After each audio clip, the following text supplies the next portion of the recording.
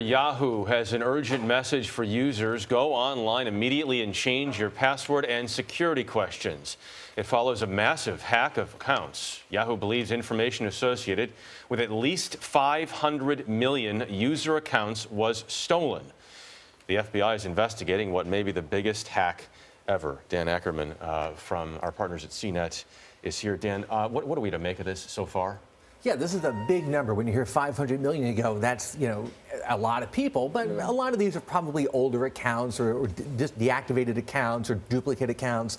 How many times do you forget your username and password and you want to use Yahoo Photos or something and you go, I'll just make a new account. So, so that 500 million, it's a big headline number, but I, I wouldn't take that too much to heart. What about the fact that it happened in 2014 and we're just hearing about that now? Should we be concerned about that? I mean, we should, but we hear about this a lot with these big corporate hacks. If somebody goes in and basically steals some data, they don't leave any footprints that are too obvious, and you don't find out about it until later when somebody tries to sell that information, bundle it, and sell it on the black market.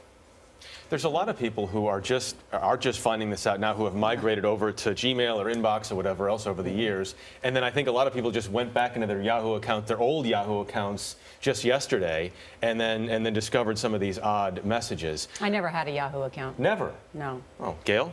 Mm -mm. All right. I, never did I, I, I went, did at I one went point. back and found mine. I should probably check it at some point here, right?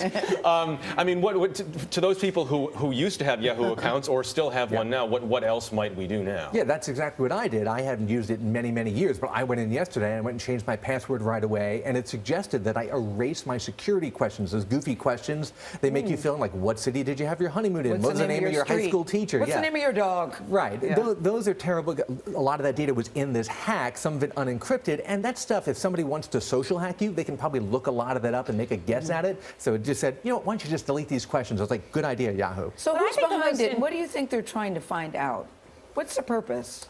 I mean, a lot of this is just bulk data. They, they bundle it, they sell it together, and if they have a password and username and password combination that works. They. You yeah. keep saying oh. they. We're thinking identify who you're talking yeah. about. Who's uh, they? You know, Yahoo said it was a state-sponsored group. That's a very broad umbrella. You can use that to, to paint a lot of people. In a lot of these countries where we hear about these hacks coming, you know, uh, government groups and private groups kind of work Russian, together. Sometimes Russian Russians and Chinese. You know, uh, the, guy, the guys doing the actual political hacks, they're not state employees, you know, in an office somewhere. They're shadowy private groups that kind of work hand in hand with the bottom line, anything we can do to avoid it?